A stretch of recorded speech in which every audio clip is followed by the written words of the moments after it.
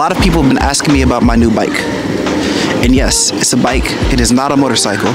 It is an Onyx RCR, a $5,000 e-bike. And yes, this is a bike, as in bicycle. A bicycle that is more expensive than a car and most motorcycles. What I love about this bike is that aesthetically, it is gorgeous. It's subtle. There's not a big like signs on here that say, oh, you know, Onyx or whatnot. It's very low key, and I love that. And the Onyx RCR has three modes. It has Eco mode, which the top speed on it is 22 miles per hour. It has a normal mode, which top speed is 41, 42-ish miles per hour, and then a sport mode with a top speed of 65, which is the highest that I've been able to get it. But I have a friend who's been able to get his to go 70. Look at all these slow pokes. Excuse me, your top speed isn't even close to mine. Look at him trying. I could never. And in all modes, pedal assist does work. It has a 75 mile range in eco mode. So depending on how fast you're going, how far you can get this bike. I use this bike for everyday transportation. I don't have a car. So this right here is my car.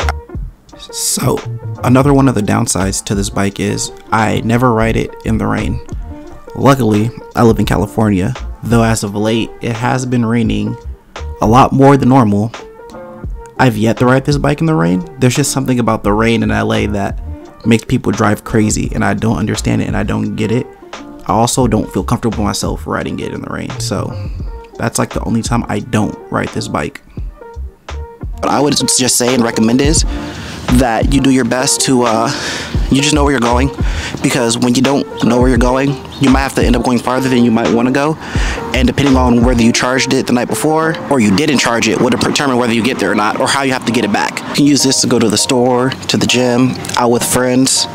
You know i would recommend getting a really great lock. Uh, i went online and found one of the best locks at a great price that i could get and it's really heavy duty super hard to get through.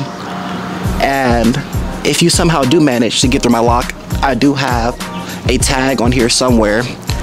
So don't steal my bike because I'll find you before you find it. It is a really smooth ride. It does have dual suspension, so it takes bumps and handles like going up and down curbs and little small ones really well.